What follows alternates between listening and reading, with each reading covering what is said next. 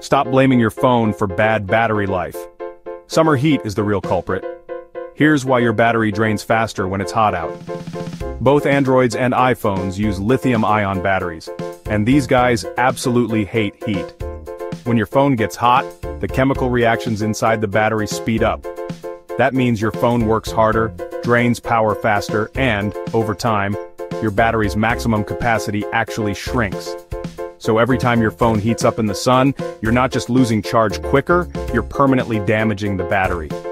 That's why Apple and basically every phone maker says, keep your phone between 0 degrees and 35 degrees Celsius, or roughly 32 to 95 degrees Fahrenheit.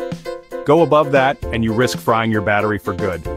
Pro tip, don't leave your phone in a hot car or out in direct sunlight for too long. And if it feels hot, give it a break.